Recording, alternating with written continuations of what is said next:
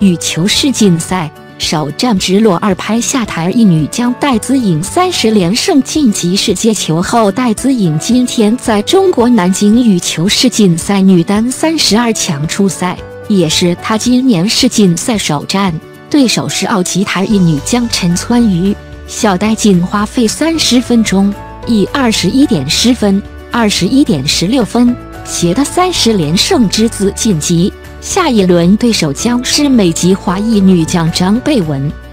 对手陈川玉是奥籍台裔选手，她在台湾出生，也在台湾打过全国排名赛，对于台湾羽球选手来说并不陌生。陈川玉持澳洲国籍，曾在2015年大洋洲锦标赛封后，2016年曾代表澳洲参加里约奥运，目前世界排名第八十一。生涯最高排名是五十五名。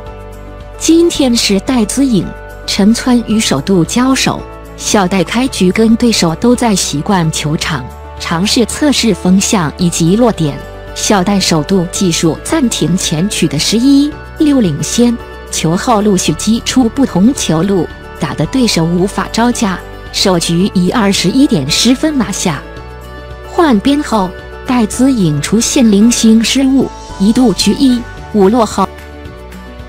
小戴多半处于落后，受到对方调动，首度技术暂停前局九点十一分。听从教练意见后，小戴开始反扑，最终以二十一点十六分收下比赛。